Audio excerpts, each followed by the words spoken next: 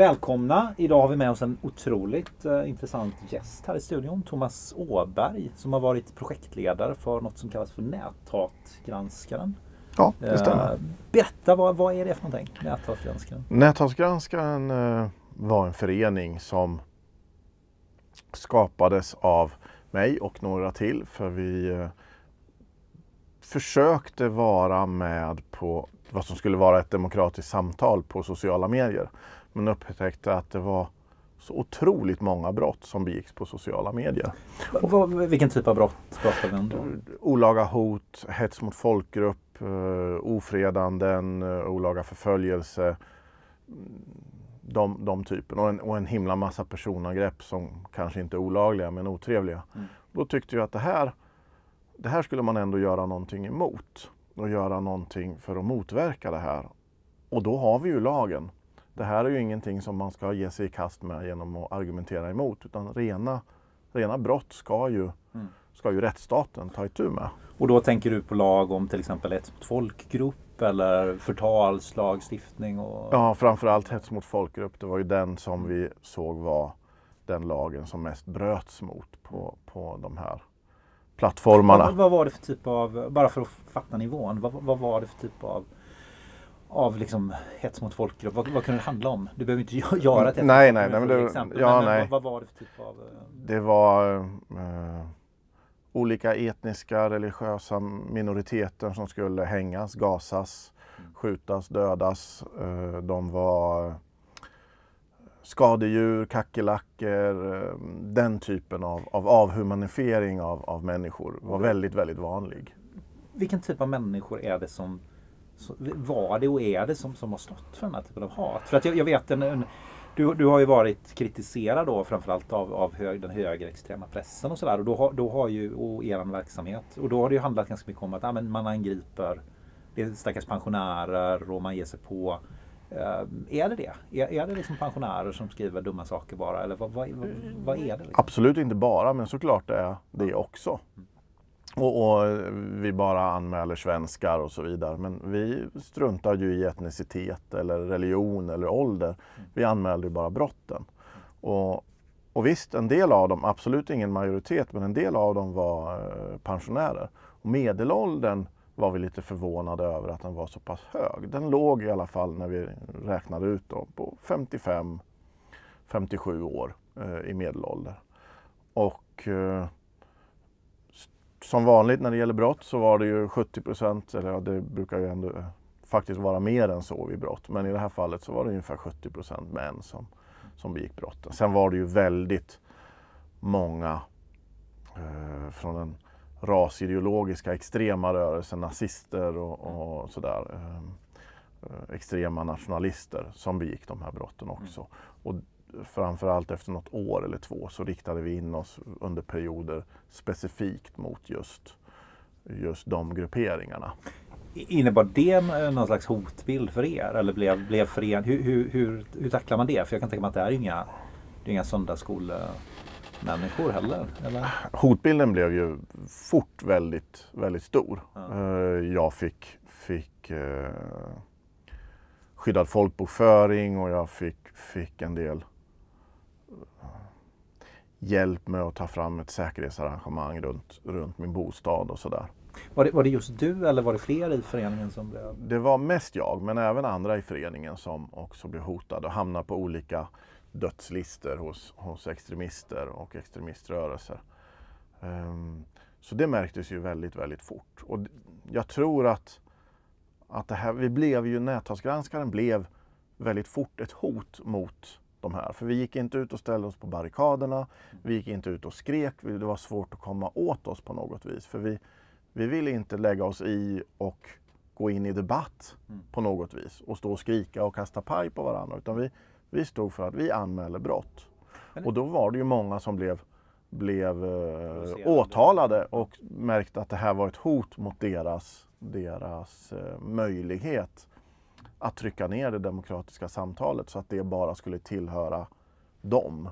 Ja, men en del skulle ju säga att, eh, att det här är, är precis tvärtom. De skulle säga att det ni gör är att, att lägga er i det demokratiska samhället, försöka stoppa det demokratiska samhället, att yttrandefriheten begränsas om man anmäler människor så fort de eh, kommer med obekväma sanningar eller säger obekväma saker. Vad, vad tänker du om det? Ja, alltså det är obekväm sanning, alltså när man ska skjuta eller mörda någon, det är ju inte en sanning. Och, och det är ju ingen åsikt, det är ju en handling. Uh, och det är olagligt. Och det mest demokratiska vi har uh, är ju faktiskt våra lagar som är framtagna av uh, den den lagstiftande församlingen, riksdagen, mm. som tar fram de här på ett demokratiskt sätt. Men du ser ingen konflikt mellan så att säga, hur, hur långt ska yttrandefriheten gå? När var gränsen går? Att det finns en gråzon? Eller, eller bli, har det varit liksom lätt att hitta den? Eller har det, varit... det har varit väldigt lätt, för lagen är väldigt, väldigt tydlig. I Sverige har vi en väldigt stor möjlighet till yttrandefrihet. Och rätten att yttra sig är väldigt, väldigt stark i Sverige. Gränsen går ju när det blir att man hotar någon till livet, att man hetsar mot uh, en minoritetsgrupp och säger att de ska dödas eller de är kackerlackor. Sådant som, som kan leda fram till attentat och som har lett fram även i modern tid, även de senaste två, tre åren har lett fram till flera stycken allvarliga attentat där många har dödats. Där är det ju det här hatet, eh, det kriminella hatet. För hat är inte kriminellt men, och rasism är inte kriminellt. Men det går över gränsen och det är där många tror. Vi kunde ju få i 2017 när vi startade, då hade ju API för, då var ju API för eh, Facebook öppet. Så vi kunde söka med program på Facebook för att hitta de här kommentarerna. Och då kunde vi få in 10 000 efter en helg med, eh, med jätterasistiska kommentarer. Men av alla de här 10 000 rasistiska kommentarerna så var det kanske 5% som var olagliga. Men alla de 10 000 var verkligen rasistiska. Så det är ju en stor skillnad Just mellan det. det. Som är, precis. Men, ja. men det, man kan ju ha en känsla själv av att människor har blivit skickligare på att förstå gränserna i till exempel förtalslagstiftningen eller hets mot folkgrupp. Att, att man, man kan liksom märka att man inte längre formulerar jag ska skjuta dig utan vad skulle hända om någon dök upp hos dig? Alltså mm. det här mm. att försöka hitta en formulering som gör att man kommer undan så att säga. Ja. Är det något du har tänkt på? Jo men det är någonting som märks såklart. Eller så använder man kodord för olika mm. minoriteter och sådär. Som någon annan, som, som de införstådda förstår? Ja, precis lite grann så. Och bara det är ju en vinst i sig. För då får ju inte det här hetsande språket samma spridning. Och det är ju det som är det farliga. Uh, för det är ju såklart jättefarligt när en en eh, nazist med stort våldskapital går ut och säger att alla judar ska, ska gasas. Det är ju verkligen farligt. Men det kanske är nästan ännu farligare när en, en dam, Agda 70, mm. går ut och skriver samma sak. För hon får mer traction för det uttalandet i den eh, generella populationen i Sverige än vad en nazist gör som många bara säger det där är extremism, det där fy och usch. Men, men många som, som lyssnar på, på Agda 70 som säger så kanske tar till sig det här mer. Plus att den, den ensamma galna unga eller inte så unga mannen som, som inte riktigt har alla, alla eh, bestick i lådan Nej. Blir ju, känner sig ju eh, berättigad att begå våldsbrott när till och med Agda 70 säger som det är. Och Agda 70 hon kanske reagerar på det viset för att de här hatets profilatörer eller de som, som vill sprida det här hatet trycker ut att alla invandrare vill döda åldringar. Och då blir hon rädd och sen har hon inte något socialt sammanhang utan hon kanske bara har sociala medier. Och då går hon ut och så säger hon så här. Och, så hon är ju både ett ett offer mm. och en gärningsman eller mm. gärning eh, samtidigt. Nej, men jag, jag, har en upplevelse av att, jag, jag, jag kan ha fel för detta med mig har fel, men en upplevelse av att, att uh, hatet har på vissa sätt minskat. Att det var ett mer direkt hat tidigare. Och jag tänker på en, en specifik händelse var till exempel den här uh, Stå upp för Peter Springare, den här gruppen som var oerhört stor mm. på Facebook. Och då blev ju uh, administratören för den här sidan, han blev ju fälld enligt den här lagen om digitala anslagstavlor då, som ja. egentligen inte hade tillämpats innan. Och det kändes som att det hände någonting där någonstans. Eh, att, att det blev en förändring i, i eh, jag har ju själv jag har skrivit krönikor och själv varit utsatt för ganska mycket näthat får jag säga. Alltså folk som har skrivit kontakt med mina arbetsgivare, skrivit direkta hot och sådär. Eh, smsat mina barn och allt möjligt sådär. Men jag upplever som att det har minskat lite grann och, och jag tror kanske att näthatgranskarna har varit en del i det här. Men vad, tänker du? Har, är, har det förbättrats? Är vi på väg att få ett bättre samtalsklimat på nätet eller är, är det liksom? Ja, jag tror att näthatsgranskaren har varit en del i att visa att lagen gäller även på, på nätet och på sociala medier. Så det har säkert uh, fungerat och BBS-lagen som vi, vi, uh, vi fick igenom en anmälan som gick hela vägen till, till åtal. Det har nog påverkat. Sen tror jag, även om jag tror att det kommer ta väldigt, väldigt mycket mer tid, så tror jag att vi människor måste lära oss sociala medier och internet och det har vi fortfarande inte gjort. Det är ju fortfarande nytt i, i, i vår evolution det här. Så det, det tror jag påverkar eh, också. Där funderar jag också, för du, du sa det tidigare att, att ni var förvånade över att det var väldigt hög medelålder på personerna. Då. Mm. Uh, kan det spela roll? Alltså, om, om man är så att säga digital Eh, invandrare om man inte har liksom fötts med sociala medier och kommit in i det senare. Att man inte riktigt fattar att det är, det är faktiskt samma spelregler som gäller här. Att skriva hat på nätet är precis samma som att sprida det här hatet i mataffären eller framför en människa. Ja, att, att, det, att det kan spela roll. Jo, det spelar roll. Äldre har ju inte riktigt samma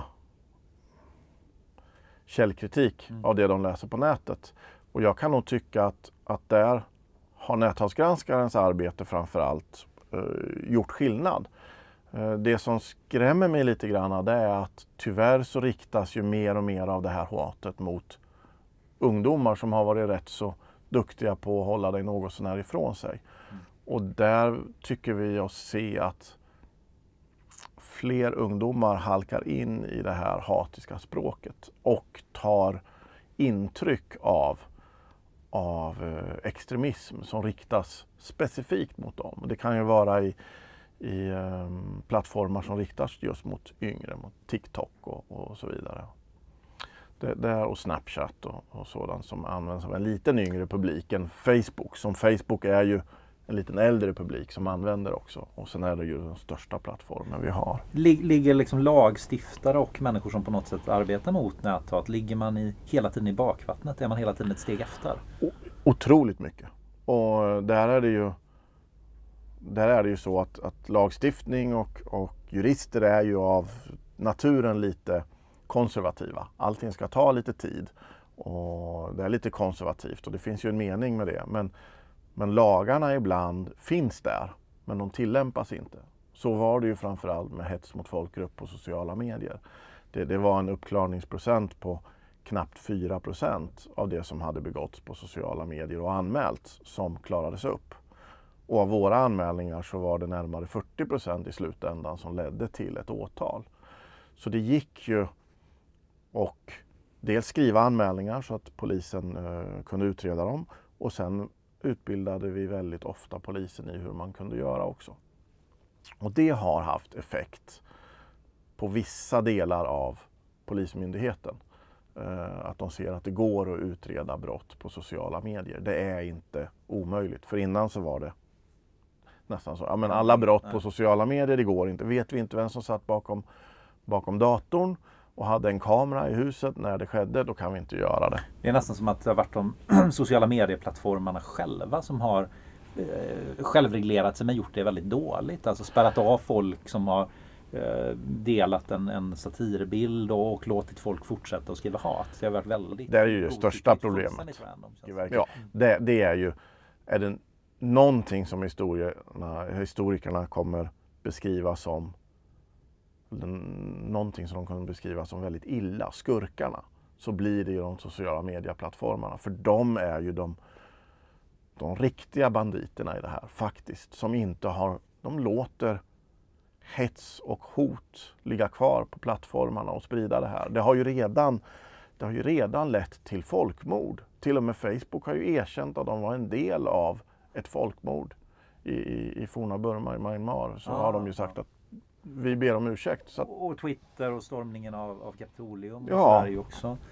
Uh, ja, men, ju, men kan det här handla om, för, det, för jag funderar på om det handlar om att det, det, det är en slags extrem det är ju någon typ av extremliberalism det handlar om som har fått fullständigt fäste i, i sociala medier då. När allt ska vara tillåtet, den här totala yttrandefriheten. Att de här plattformarna någonstans har, har, har liksom skrivit under på den ideologin. jag tror faktiskt inte att plattform, plattformarna har den ideologin. Jag tror att de, deras ideologi Cash. är pengar. Ja. Och då är det, då är det väldigt bekvämt att använda en, en extrem liberalism och säga att allting måste få sägas. Även om det är olaga hot och hets mot folkgrupp. Vi har en total yttrandefrihet där man ska få lov att hota. Och ha. Det är nog bara för att det är väldigt bekvämt. Och det kostar pengar, kunskap eh, att faktiskt ta bort det här. Men, men eh, det är inte omöjligt på något vis. Jag, jag, jag kan lova att om, om jag fick någon slags makt över Facebook till exempel, om vi tar den största plattformen, Sverige, och hjälp av fem stycken utredare och fem stycken IT-tekniker, så skulle jag kunna se till att Facebook i Sverige var väldigt rent från hot, ofredanden och hets mot folkgrupp. För det är ändå egentligen en väldigt liten klick som begår de här brotten om och om igen och är väldigt, väldigt aktiva. Som syns så mycket mer än vad majoriteten gör. De, de blir så väldigt synliga. De får en oproportionerligt stor makt på sociala medier och de här behöver man begränsa. Du, du sa, jag för mig att du har sagt någon gång, jag kan ha fel, att, att, att i såna här hund och kattgrupper och så, att det har varit mycket, mycket såna här konflikter där folk skriver fullständigt olämpliga. Eller är, vad, vad är det för, för plattformar? Var, var, vilka sidor? Är, är det liksom överallt? Är det Allting på handbollsföreningens sida eller var, var, var dyk, har de här haten dykt upp? Där det finns starka känslor. Och det, om hundar, hästar, katter finns det är väldigt starka känslor. Det finns väldigt mm, träning av hundar, det finns väldigt många olika skolor och eh, de, är väldigt, de binder nästan sin egen identitet mot just den här skolan av träning av hundar och då blir det väldigt lätt konflikt och eh, människor som, som kanske är vad man säger i England lite horsey som, som lätt går över och, och använder, har känslorna utanpå och använder känslor väldigt mycket i sitt, sitt språk. Så där känslorna är starka, det är där det liksom händer. Ja, och det kan ju vara, det är ju inte bara på, på hund och hästsidor. Det är ju då på sidor som handlar om politik och framförallt politiska ämnen då som är polariserande. Det kan vara invandring, det, nu är det vindkraft, eh, kärnkraft. eh, Bensinpris. bensinpris, det, det, det är ju en känslig fråga och där, där folk binder sig till sin identitet till någonting så de kan inte släppa det.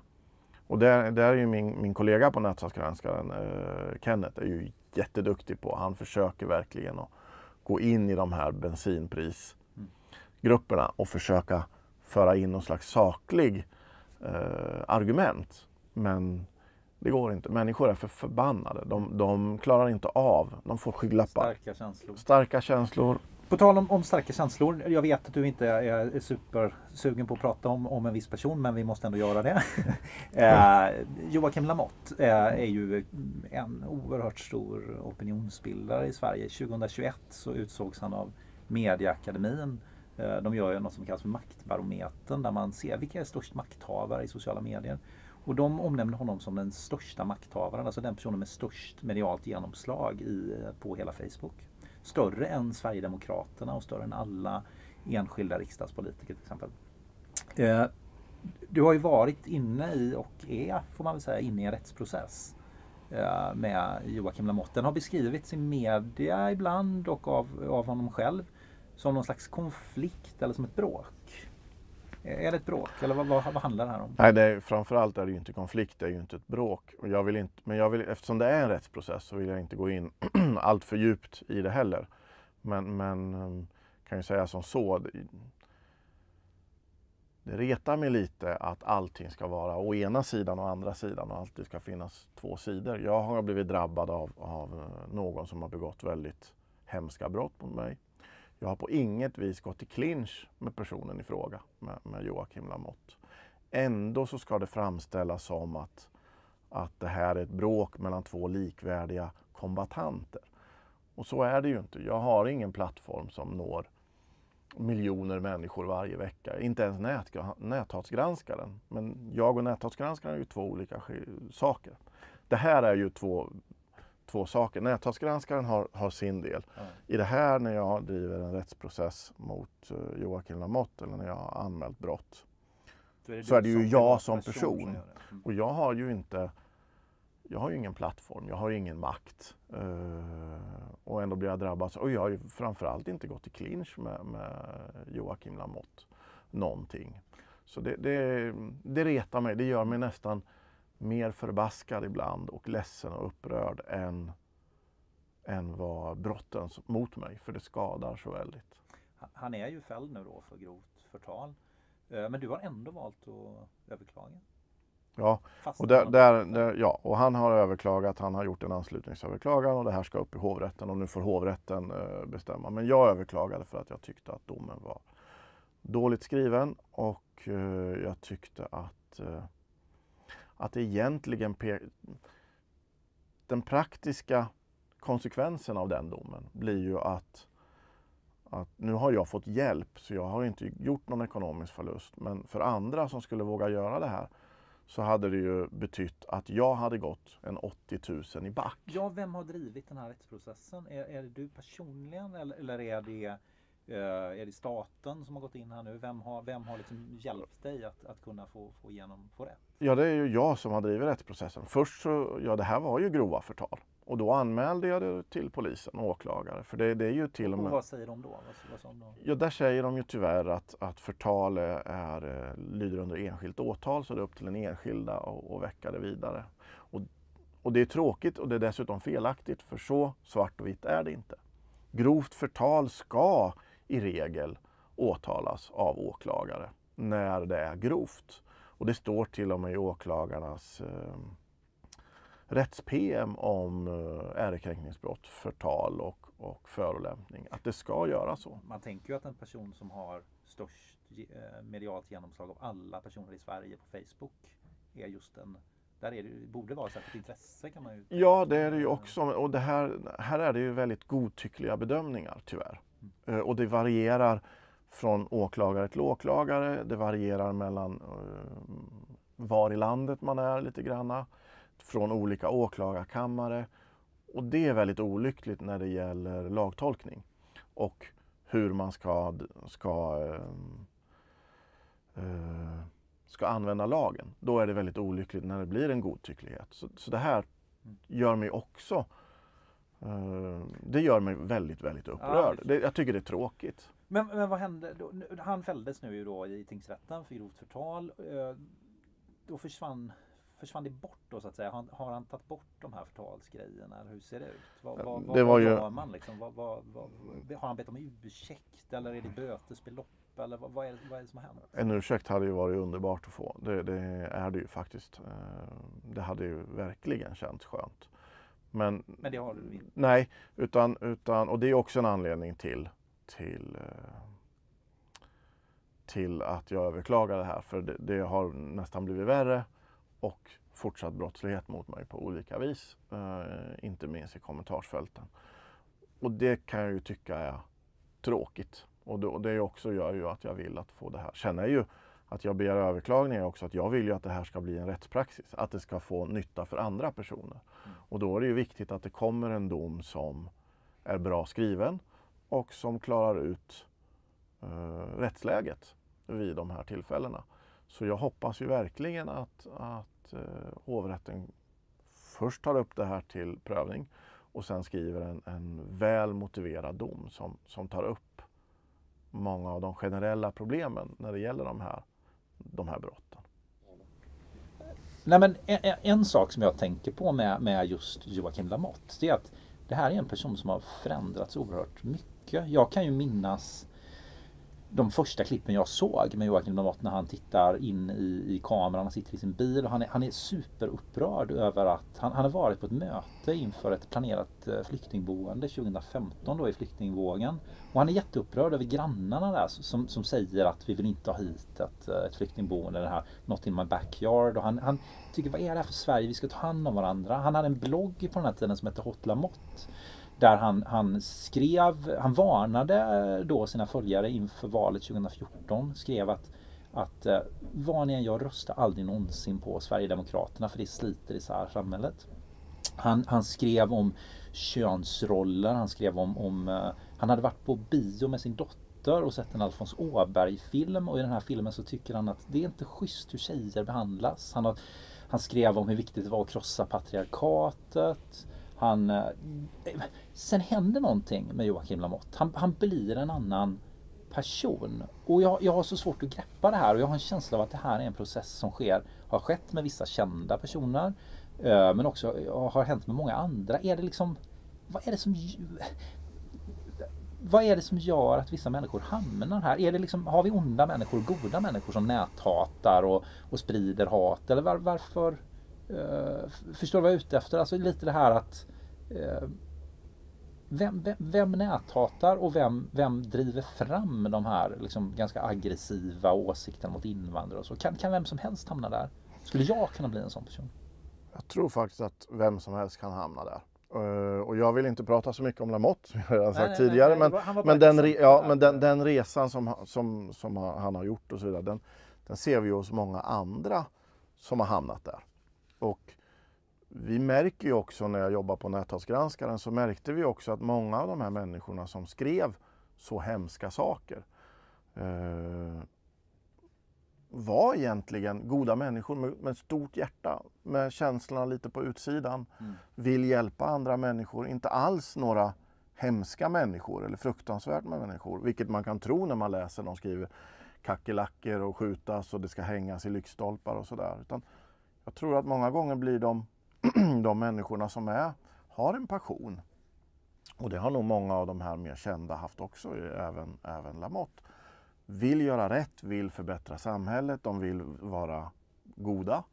Men de blir också väldigt påverkade av det som de ser framför sig. Och sociala medier är ju en liten ekokammare på sätt och vis. Man får ju väldigt mycket sådant som driver känslor. Och ser man otäcka bilder med en text under så är det ju lätt att man man vill ju, tycker synd om de som blir drabbade och då vill man väldigt förenkla sig och så riktar man sig mot bara män. Mm. Det finns ju de som gör det. Alla män är skurkar. Mm.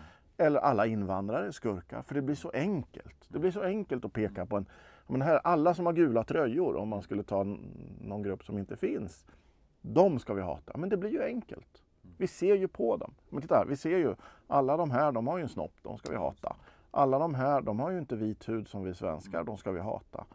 Det blir enkelt. Man har komplexa man har gängkriminalitet, man har komplexa problem. Så kriminalitet uppstår som en konsekvens av massa faktorer. Individfaktorer, ja. sociala faktorer, segregation. Och så gör man en enkel lösning. Många invandrare, bort med invandrarna så är det löst. Det är liksom den typen av Ja, det, den, den, den förenklingen. Och det är väldigt enkelt. Och det tror jag vi alla lite till mans mm. är rätt snabba att göra. Och jag tror att när man, när man tror att man man inte har fördomar eller att man inte kan göra så här, då riskerar man verkligen att inte se när man gör det. Alltså de mest fördomsfulla det är de som säger att jag har inga fördomar. Ja. Kan ju, alltså, de kanske inte alltid är de mest fördomsfulla men de, det är ju risk att halka in och aldrig se att de har fördomar och kanske bli väldigt, väldigt otäcka i sin retorik utan att uppfatta sig själva som onda. Men det är de kanske inte är onda heller, för vi ska ha skillnad på handlingar och person. Mm. Men det de gör är faktiskt onda handlingar. Att skriva mm. på sociala medier, att publicera för alla med tillgång till internet att man ska gasa alla invandrare eller att de är kackerlackor. Mm. Det är en ond handling. Men det behöver inte betyda att den som sitter bakom är en ond människa. Men det han eller hon begår är ju faktiskt en ond handling. Men min känsla är att det finns personer som är så att säga, motorer i den här typen av samtal och katalysatorer och sen är det att det är andra utförare. Jag tänker, som, vi tar Lamotte som exempel igen då, även om du inte vill prata om Lamotte. Eh, eh, jag, jag upplever inte som att Lamotte någonsin har skrivit något, något rasistiskt på, på Facebook. Jag har aldrig sett någonting. Jag upplever inte att han har skrivit något som skulle kunna uppfattas som hets mot folkgrupp. Inte i närheten. Men jag upplever att hans eh, kommentarsfält är fullständigt marinerat av den här typen av, av diskussioner. Och, och vi, kan, vi, vi kan lämna Lamotte, vi kan, vi kan prata om någon annan. Alltså Hanif Bali, Katarina Janouch. Det, det, är liksom samma processer. Att det finns liksom eh, eh fotfolket håller på med någonting annat. Och då blir de här sidorna blir som någon slags plattformar där, där hatet flödar fritt. Oavsett om det har varit personens intention, den som har sidan. Jo, ja. men, men absolut, och jag vill inte gå in på Lamotte igen, men, men som en struktur på, på samhällsdebatten, så då, då ser vi ju de här katalysatorerna, eh, katalysatorerna, ibland är det svårt, eh, som driver mycket av det här hotet. Och det är ju allt från, om vi tar Hanif Bali som ett exempel, eh, som faktiskt skriver skriver saker som är rasistiska och som är riktigt problematiska. Men det finns de som inte, jag håller med dig om Lamotte, det du säger om Lamotte, han har inte skrivit så. Men ändå driver fram hatet. Det är ju problematiskt. Men så har vi ju de som gör det här, hatets profilatörer eller de som, som liksom trycker ut det här. Det är ju både grupper och enskilda. Eh, och de de har en otrolig påverkan på samtalet. Det är ju Nordiska motståndsrörelsen till exempelvis. Eh, de mer extrema delen av eh, Sverigedemokraterna på nätet. Eh, det som man brukar kalla för SD-svansen som, som någon slags nätkrigare för Sverigedemokraterna. De har en agenda att sprida det här och påverka som vi pratade om tidigare, Agda, 70 år, att bli förbannad och ändra sig och bli den här människan, den goda människan som begår onda handlingar utan att se det. Och det, det finns ju många exempel i historien att, att eh, goda människor begår riktigt fruktansvärda handlingar. Och sen alla de goda människor som står på sidan av tyst och tittar på. Det är ju rätt skrämmande. Eh, att så många är beredda att nej, jag vill inte blanda mig i, i, i, samtalet, jag tycker det där är fel, men de känner sig obekväma och ta sida också. Så de ställer sig på sidan av och säger att jag har inga ansvar. Och så ser de inte när riktigt fruktansvärda övergrepp begås. Nej, men jag tänker det, det du pratar om här nu, den här, liksom, här glidningen, hur, hur, olika instanser påverkar varandra. Jag, jag fascineras av den här eh, beröringsskräck har man ju pratat mycket om. Så här. Och till och med, den här, till och med frasen den här beröringsskräcken. Och, och då har liksom man från höger, moderat håll till exempel pratat om vi måste komma bort från den här beröringsskräcken. Det, det var ett, ett, ett, språklig formulering som användes för att motivera samarbete med Sverigedemokraterna. Men det intressanta var att när man gick in och tittade på till exempel NMRs sida och sådär. Då pratade de om att vi måste komma bort från den här beröringsskräcken. Alltså folk som egentligen sympatiserar med oss men har en beröringsskräck. Så att till och med nazisterna pratar om, om, om liksom Sverigedemokraternas beröringsskräck mot dem och så pratar Moderaterna om beröringsskräcken mot dem. Det blir liksom en, en katten på råttan, råttan på repet. Det blir en slags kedjereaktion där varje sak legitimerar en annan. Eh, hon, vad heter hon, eh, Ingrid Carlqvist va? Som, som var socialdemokrat och sen blev nazist. Hon delar liksom texter av, av Ivar Arpi på, på Twitter och sådär. Och det, det, blir liksom, man legitimerar varandra på olika sätt. Uh, vad tänker du om det? Ja, det, det, just det här med beröringsskräck är ju en intressant. Ja. För det, det, är ju det kan ju appliceras på så otroligt mycket och betyder, betyder ju egentligen ingenting ibland. Men, men eh, jag tycker nog det är viktigt att vi inte har beröringsskräck någonstans. Och vågar diskutera, men då kräver det att vi ska kunna diskutera saker och samhällsfrågor utan att använda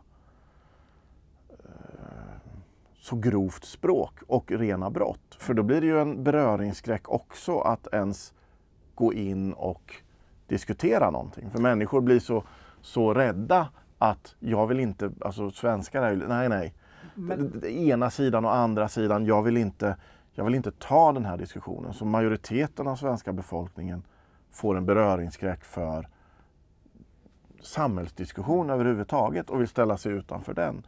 Så beröringsskräck kan ju vara så otroligt mycket. Ja, men, men, för den märker jag av jättemycket när jag har skrivit krönikor och skrivit en bok i samhällsdebatten. Att, att, att du vågar, säger folk. Alltså det skulle jag aldrig, jag, jag, jag tänker som du men jag skulle aldrig våga säga det här. Alltså det, mm. det finns ju en det finns en, jag tycker det är väldigt, vi har en samhällsdebatt just nu där väldigt många inte orkar delta och inte vågar delta därför att man upplever att det, man kan råka rätt illa ut. Man kan få en mm. punchline. Så. Och du har ju verkligen varit i, i skottgluggen. Sådär. Hur, hur orkar man och, och vad, vad, är det som krävs? Är, är det liksom uh, vi som orkar så att säga, kom, kommer vi sluta orka eftersom det är för få som, som orkar? Eller hur kan vi få ett bättre samtal? Ja, Alla är delaktiga på det. Det är ju ett jätteproblem. För vi som orkar eller vi som har ett pannben och går in, alltså vi är ju inte någon majoritet. Det är kanske inte våran röst framför allt som behöver höras utan, och inte de där extrema som använder brott för att skrämma bort så många från det demokratiska samtalet.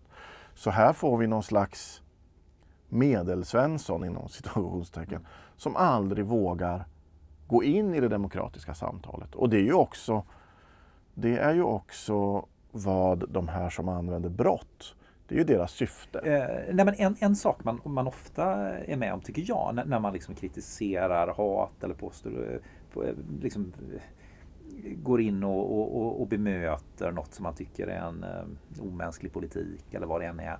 Det är ju att folk säger att, att nu sysslar du med mobbing, nu sysslar du med hat. Och, och det här att ibland mm. känns det som att i, i, det goda hatet kan det raljeras över och sådär. Om man, om man skämtar om Ulf Kristersson så är man plötsligt lika illa som en nazist som säger att man vill mörda invandrare. Och det, det blir liksom en allt relativiseras fullständigt och det upplever jag också som ett sätt att försöka tysta människor. Att försöka göra allt till hat.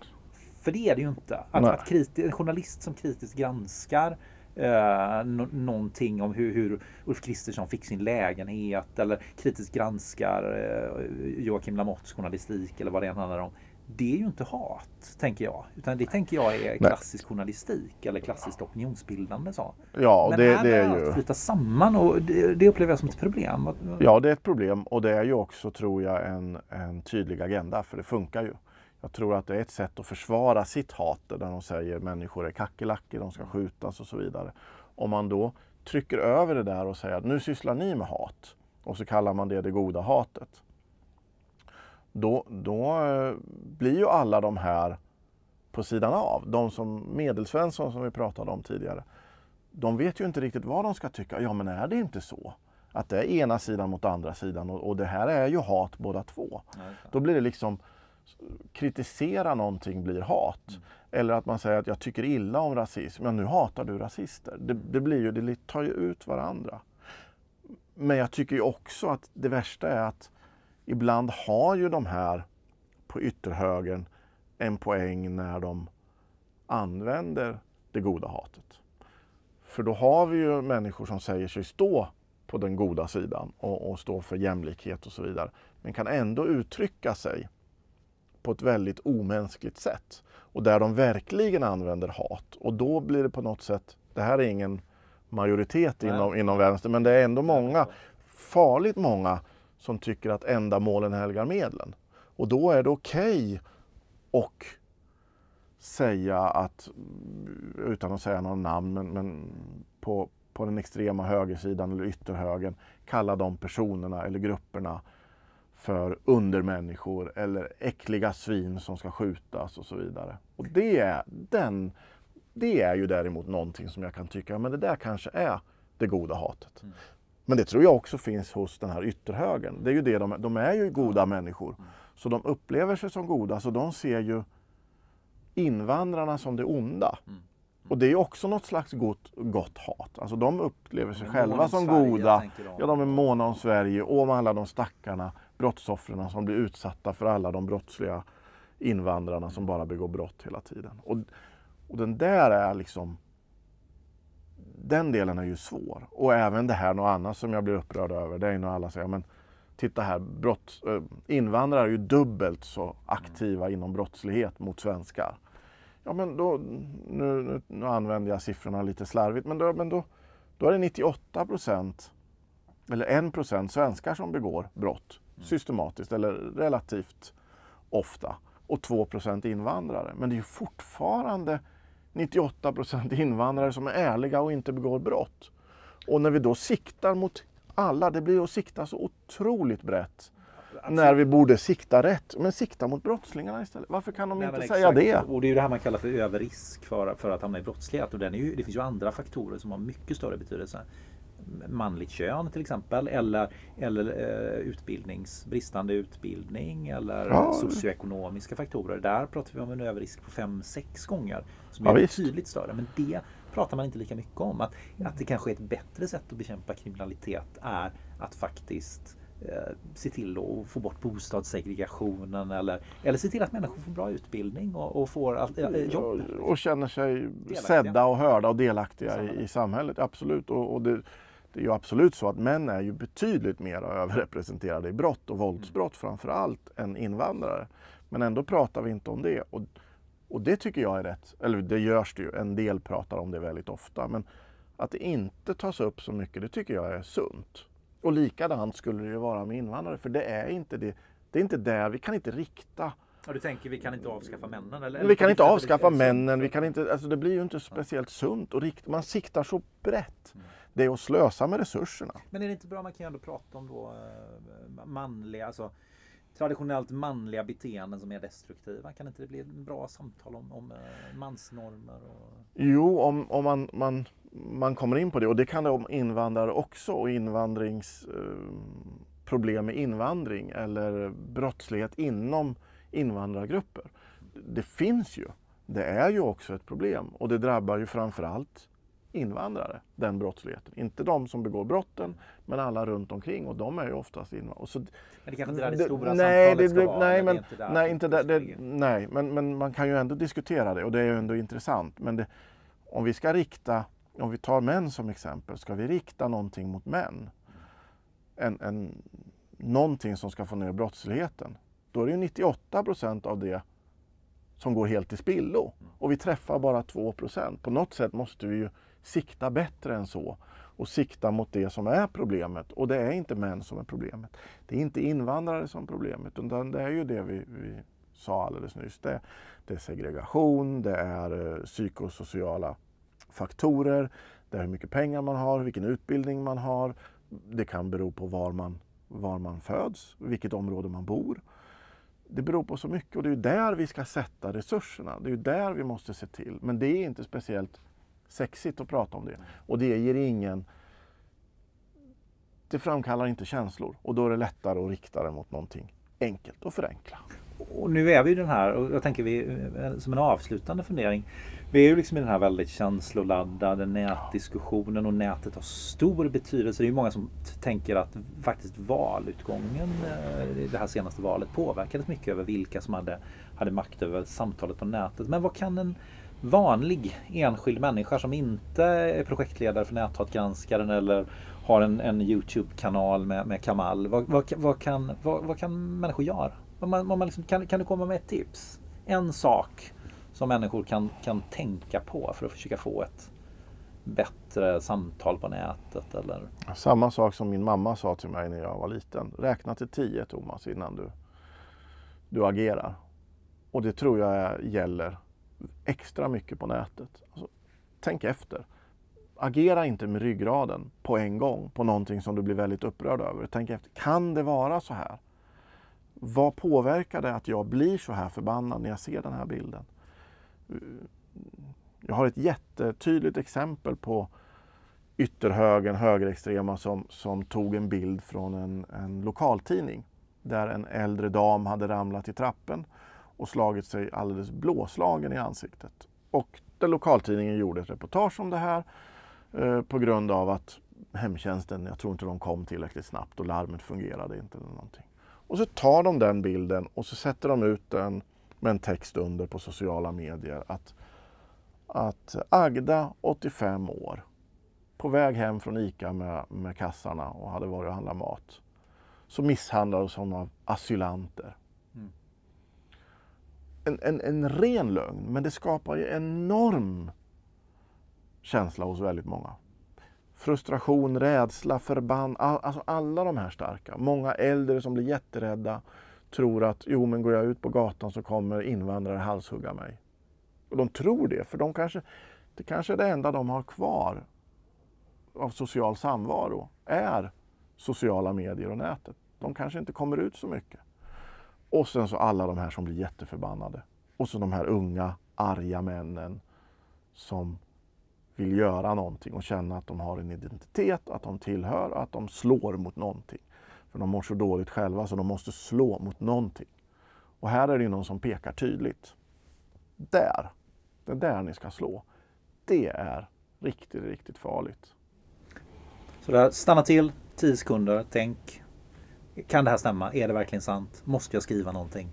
Uh, ungefär så. Ja, och, och, är det här bra? Är det här, ja. Och vill jag säga det här? Vi, vi såg ju bara häromdagen så var det en, eh, en dam i i alla fall äldre medelåldern och jag tror att hon var pensionär som blev åtalad för hets mot folkgrupp. Och det var inte vi på Näthatsgranskaren som hade anmält det här. Det hade skett på Facebook i någon, någon lokal grupp. Där någon skrev någonting som var väldigt olämpligt mot, jag vet inte om det var någon speciellt etnisk grupp eller vi kan säga invandrare. Och när hon förhördes av polisen så säger hon ju just det här. Jag känner ju egentligen bara snälla invandrare. Jag, jag eh, blir bara så förbannad och kan inte lägga band på mig när jag är ute på sociala medier. Jag skäms för vad jag skrev. Det här är inte jag som skrev det här. Jag ber så hemskt mycket om ursäkt. Och nu blir hon åtalad och fälld för ett brott som hon kommer få alltså fängelse som omvandlas till villkorligt för hon är ju ingen risk för samhället. Hon kommer ju inte begå brott igen. Det är, det är en tragedi mm. att människor blir lurade. Och då är ju plattformarna och de som går ut, Samnytt, de andra slaskmedierna som går ut med en enda tanke och en enda agenda och det är att rikta hatet mot någon annan. Man tänker på det här med Annie Lööf och, och Riks. Hur, det som var på väg att hända och som ju också hände. Fast inte just mot Annie Lööf. Ja, det, det, är ju, Riks är ju en, en uh, ursäkta men det är ju, det är ju riktigt slaskmedia. Alltså det, det, de är inte ens med i det mediaetiska uh, vad heter det? Mediaetiska uh, Ja, media, precis. Pressetiska rådet. Det pressetiska, de är ju inte ens med i det pressetiska systemet. System. Och det är ju för att de just vill använda hat, hets och hot mm. och påverka människor på det här. Det är, det är skrämmande att, att vi inte har mer motståndskraft mot det, vi människor, mm. över hela världen. Och när vi säger människor över hela världen, då, du tog upp det här med att näthavsgranskaren även de blev beskyllda för att vi bara jagade pensionärer. Mm. Uh, och även beskyllda att vi bara jagar svenskar. Men många av dem vi anmälde kom från alla världens hörn. Och om man tror att rasism på något vis är koncentrerat till västvärlden, då har man inte tänkt klart. För rasism finns över hela världen och det är lika vanligt överallt. Jag ser det i Afrika också. Jag ser det mellan olika stammar, jag ser det mot västvärlden, jag ser det mot vita på precis samma sätt. Det är någonting väldigt orasistiskt över hur rasismen verkligen slår igenom överallt och finns överallt.